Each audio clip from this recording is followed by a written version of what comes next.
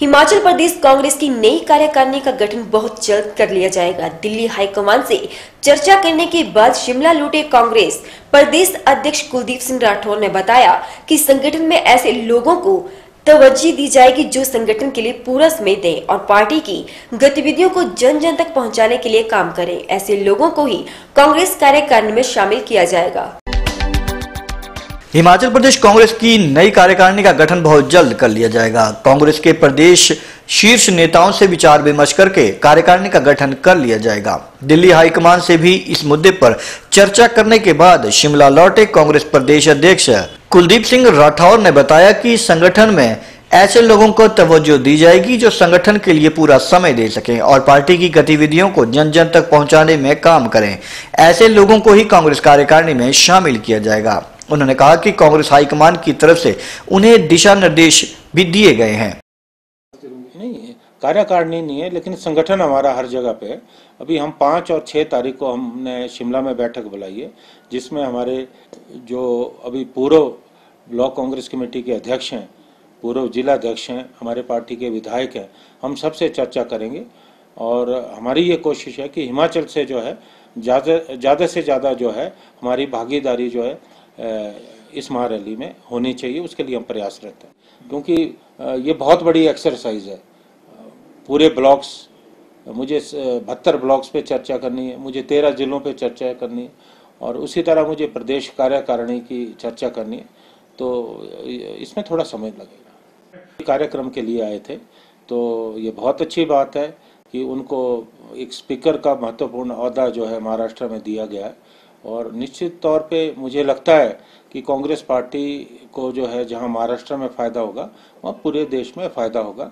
और जो ये गठबंधन बना है, जो उस वो गठबंधन जो है, सरकार को अच्छे ढंग से चलाएगा। और भारतीय जनता पार्टी के जो साथी हैं, जो एनडीए के साथी हैं, वो धीरे धीरे जो है, उनसे दूरी बनाने लगे तो शिवसेना का ये पहला कदम है। आने वाले समय में आप देखेंगे कि एनडीए के जो उनके दूसरे सहयोगी दल है वो भी धीरे धीरे उनसे जो है दूरी बनाने का प्रयास करें।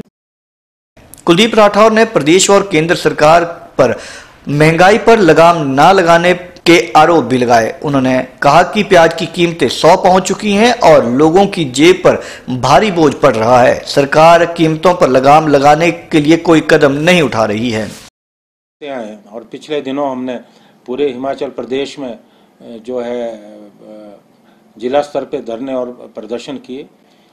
अब जीडीपी दिन प्रतिदिन गिरती जा रही है। आज जो बांग्लादेश है, श्रीलंका है, पाकिस्तान है, उनकी जीडीपी हमसे ज़्यादा है। तो हम तो कह रहे हैं कि ये सरकार जो है, हर जगह पे असफल सिद्ध हुई है। आज देश की आर्थिक व्यवस्था तहस नहस होके रह गई है। बेरोजगारी चरम सीमा पे महँगाई दिन प्रतिदिन बढ़ रही है और ये सरकार जो है नियंत्रण करने में जो है बिल्कुल असफल सिद्ध हो रही है। कुलदीप सिंह राठौर ने गुड़िया मामले को लेकर कहा कि सीबीआई जाँच गुड़िया के परिजन और लोग असंतुष्ट है, क्योंकि फॉरेंसिक रिपोर्ट में जो तथ्य सामने आए थे, उसके बाद से मामले में एक से ज़्यादा सम्मिलित लोगों की आशंका जताई जा रही थी, इसलिए मामले की फिर से जाँच होनी चाहिए। उन्होंने कहा कि दो साल पहले जो गुड़िया कांड हुआ था तो उस समय भाजपा ने प्रदेश की कांग्रेस सरकार पर कई आरोप लगाए थे और काफ़ी हो हल्ला भी किया था और कांग्रेस पर मामले को दबाने के आरोप तक लगाए थे। लेकिन अब सत्ता में भाजपा सरकार है और केंद्र में भी भाजपा की सरकार है। इस मामले की निष्पक्ष जाँच होनी चाहिए।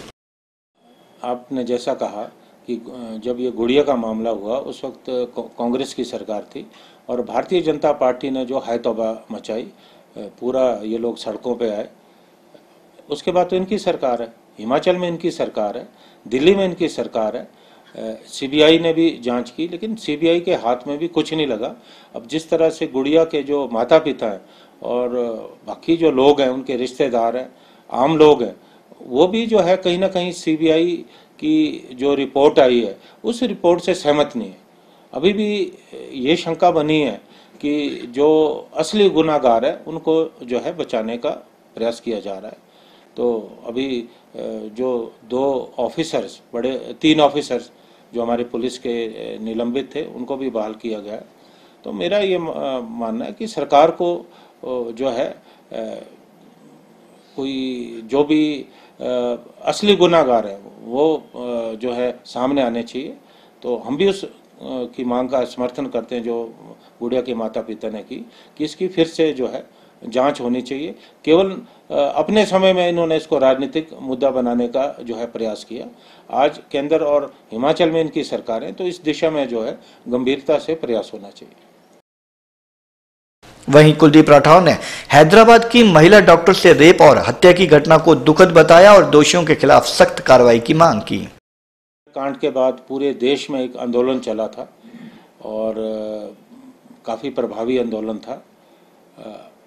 उस वक्त लगता था कि पूरा देश जाग गया है। हमारे जो न्याय पालि, पालिका है वो भी उसने भी इस मामले को बड़ी गंभीरता से लिया। लेकिन मुझे लगता है कि अभी भी हमारे देश में जो है जो सरकार का या प्रशासन का जो दबाव होना चाहिए, जो प्रशासन का, की पकड़ होनी चाहिए, वो कहीं ना कहीं ढीली है। अभी जो ये मामला सामने आया, ये निश्चित तौर पे दिल दहलाने वाला है। और हमारा पार्टी की तरफ़ से ये सरकार से भी हमारा निवेदन है, न्यायपालिका से, कि ऐसे मामलों को जो है बहुत सख्ती से लिया जाना चाहिए, ताकि भविष्य में जो है इस तरह की घटनाओं की पुनरावृत्ति ना हो। नई